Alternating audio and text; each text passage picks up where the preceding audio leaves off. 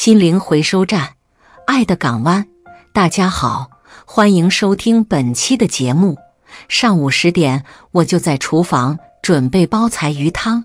婆婆进来，伸长脖子扫了一圈，阴阳怪气地说：“又给你爸妈做饭呢？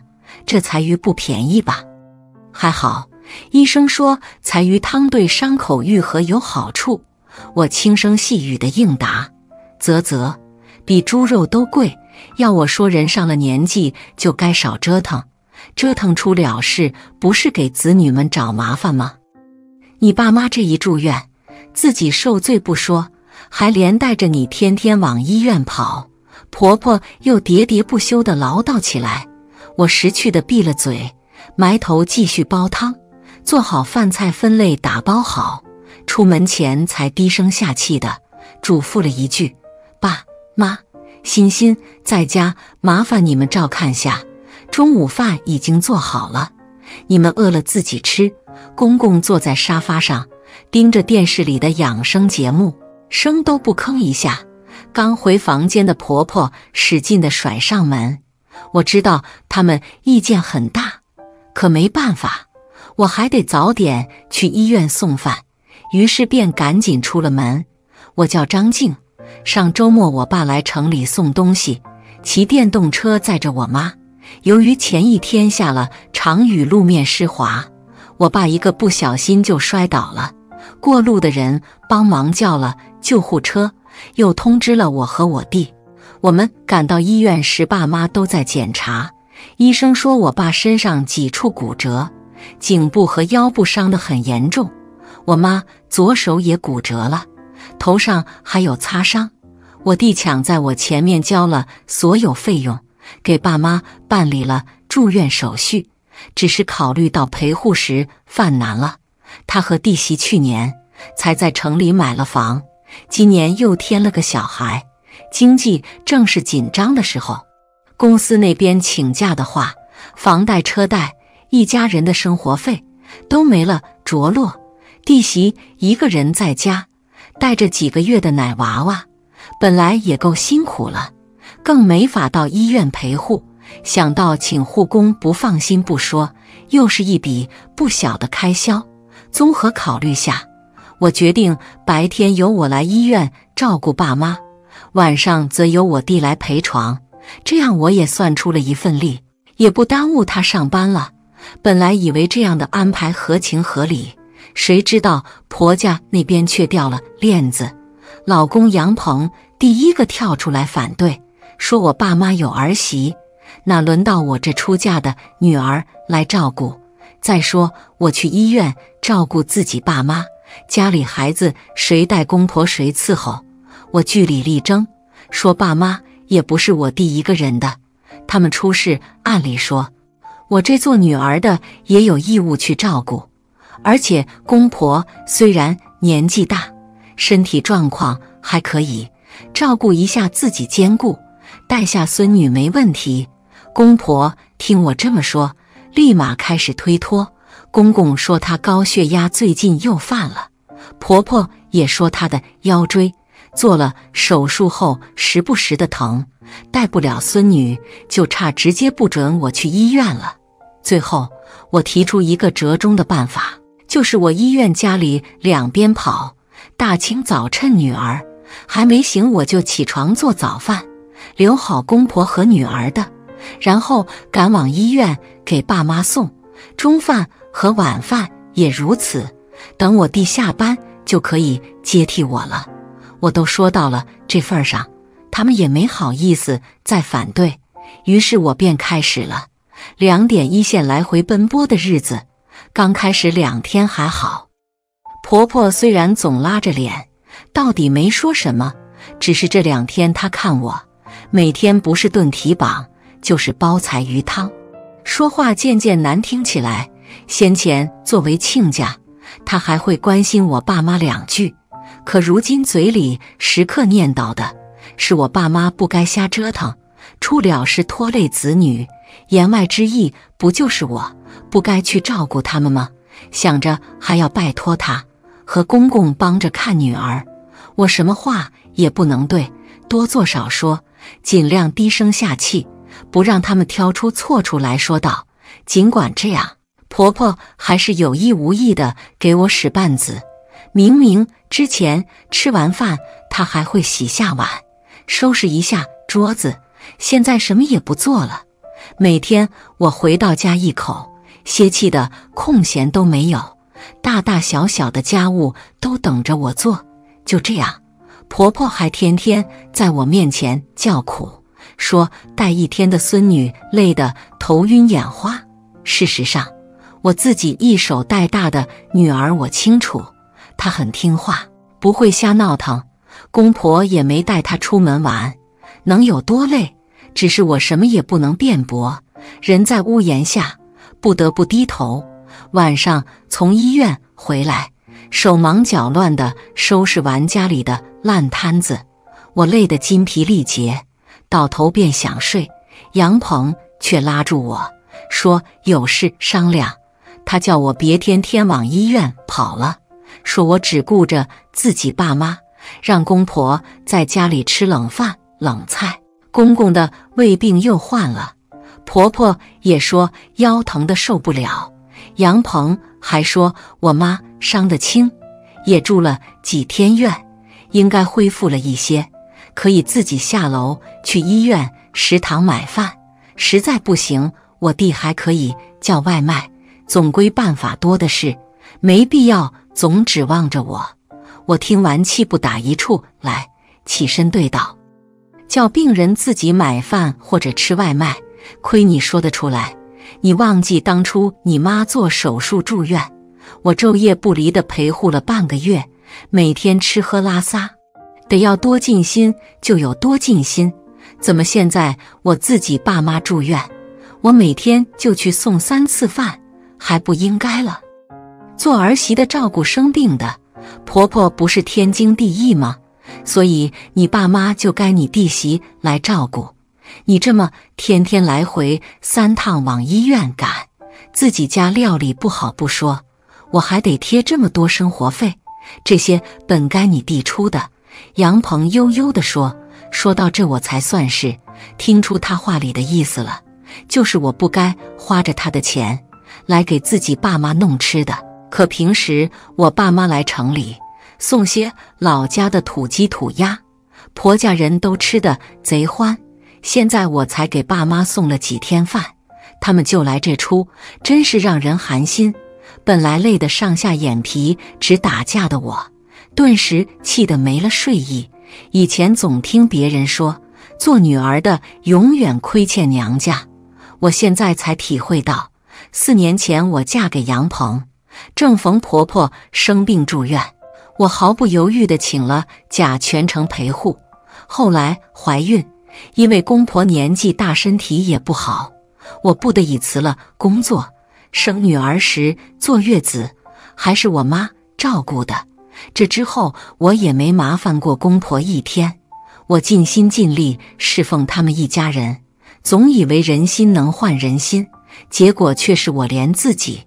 爸妈都不能去照顾，享受别人的付出时心安理得，该伸出援手时就各种理由借口。这一家子怎么这么自私冷漠呢？这一晚上我几乎没怎么睡，想了很多，决定不能就这么妥协。于是第二天一大早，趁杨鹏上班去了，我赶紧起床将女儿穿戴好，拉着她出了门。我先将女儿送到弟媳家，嘱咐她好好听舅妈的话，帮忙带小弟弟，然后才到医院给我爸妈送早饭。爸妈刚吃完饭，我就接到杨鹏的电话，他质问我一大早上带女儿上哪去了，饭都不知道做，公婆还在家饿着肚子。我没好气的回：“我在医院照顾我爸妈，今天就不回去了。”让公婆自己弄吃的，或者点外卖也行。女儿我也安排好了，不麻烦他们。说完，我便挂了电话。杨鹏又打来几次，接连被我按断。很快，他发微信问我：“我不回家，他爸妈怎么办？”我冷冷地回：“自己的爹妈自己负责。”他们好手好脚的，没我还不至于饿死。过了好一会儿，才收到他带着发怒表情的一条微信：“好，你有本事就别回来。”中午我去超市买菜，准备回弟媳家做饭，才发现杨鹏把我的微信亲情卡取消了。他这是想断了我的经济来源，逼我回家呢。看着微信余额里的几个零，我感觉自己真可悲。做了几年的全职主妇，连花钱都要处处受限制。只是杨鹏越这样逼我，我越是不屈服。接下来的几天，我都是在医院和弟媳家两边跑。弟媳心疼我累，除了做饭送饭，什么活也不让我干。两个孩子都照顾得好好的。我每天回家，他就催我赶紧休息。有人体谅的感觉轻松多了。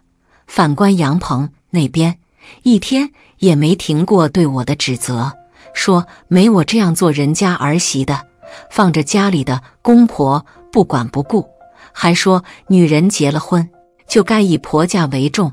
他从头到尾都没关心过我们母女或者我爸妈半句。看着他大言不惭地说。公婆念在我也是孝心一片，让我早点回去，他们就不跟我计较了。我一个字都懒得回。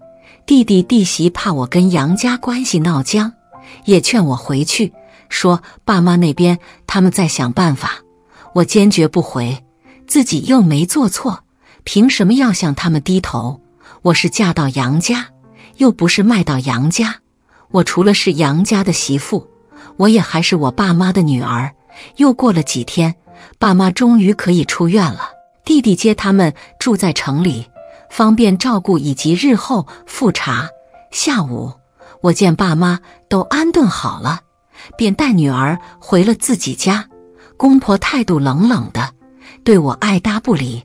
杨鹏也鼻子不是鼻子，眼不是眼，好像我欠了他们家八百万。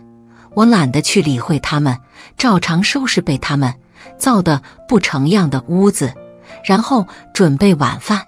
这些天，我想明白了很多事，也对接下来的路做好了规划。女儿马上要上幼儿园了，我得赶紧重回职场。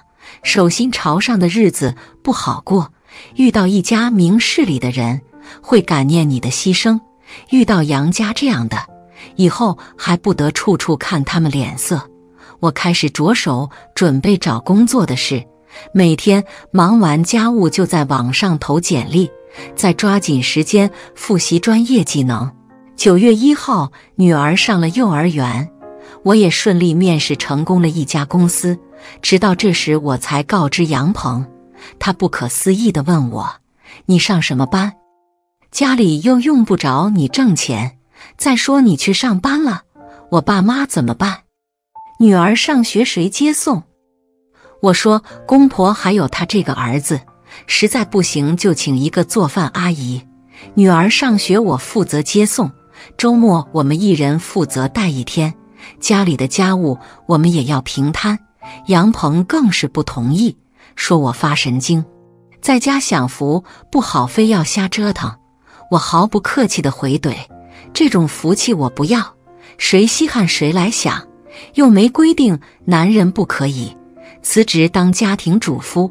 况且我当年上班，工资也并不比他低，凭什么就得我辞职在家？杨鹏被我说的哑口无言，转身找他爸妈去了。很快，公婆知道我要去上班，都跑出来反对。婆婆说：“自古男主外，女主内。”赚钱养家都是男人的事，女人就负责做好贤内助，稳固大后方，不让男人在外面还要操心家里。公公也振振有词地说：“女人结婚就是相夫教子伺候公婆的，不能忘了自己的本分。”还说我能嫁到他们这样的家庭已经够幸运了。城里房子有现成的。他老人家还有退休金贴补我们，不像别的年轻人，上要养老下要养小，中间还背着房贷车贷，每天操不完的心。最后他们还来了一番总结，说我就是日子过得太舒心了，闲得没事找事。正好女儿三岁了，当初我是剖腹产医生，建议我缓两三年再怀二胎，现在时机正好，得赶紧备孕二胎，争取给他们杨家生个大胖孙子。我听得怒火中烧，就差一口血喷出来了。之前我跟杨鹏交往，只觉得他家除了公婆年纪大、身体不好这一弱项外，条件也不算差。没想到我这是进了火坑。以往我从来不顶撞公婆，是因为我要尊敬他们。但这一次我忤逆了他们，不卑不亢地回道：第一，现在已经是新时代了。早就不兴男尊女卑那一套。第二，法律没规定儿媳有赡养公婆的义务。第三，只要我不愿意生二胎，谁也没法强制我当生育机器。最后，我通知他们，我明天就开始上班了。该我做的我会做，不该我做的别妄图道德绑架我。说完，我便转身回房。刘洋家三口在那骂骂咧咧，但不管他们骂什么，我已经不在意了。这一战迟早要打响，最坏的结果我也已经想好。目前最重要的就是赶紧在职场站稳脚跟，让自己强大起来。